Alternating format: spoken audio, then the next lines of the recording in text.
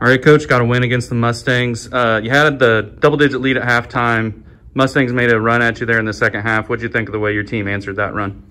I thought they did a great job. You know, I mean, we, we anticipated Central Baptist, a very well coached team, coming out with a ton of energy to start both halves, and they did exactly that. You know, in fact, uh, maybe the second half it was a little more into the second half when they made their run. I thought our guys were resilient. We got some stops when we needed to. We got some key buckets uh, that slowed down the run, and and we had uh, resilience. You know, we just kind of hung in there and did what we do and didn't get too high or low. And I thought this group's done a really good job of that throughout the year, and that continued, and we needed it today.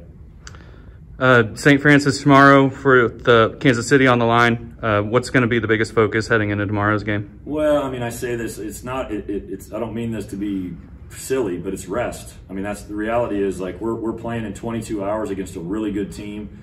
Um, you know, who didn't have to play today, so that they're they're sitting there wet, chomping at the bit.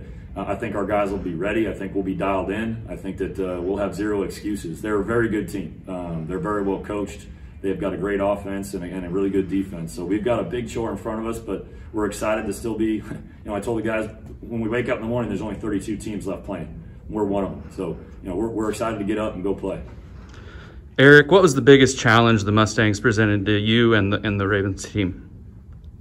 Uh, the biggest challenge for us for them was uh, their defense and their pressure. They came out right off the gate, putting a lot of pressure on us. We struggled in the first three, four minutes, and then we were able to bounce back.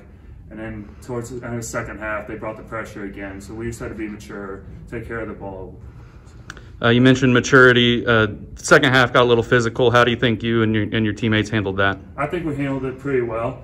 I mean, they were very tough, which is going to be how it's going to be in postseason play. So we just got to stay calm, cool under pressure, and just carry out what how we do. All right. Thanks, guys. Thank, Thank you. you.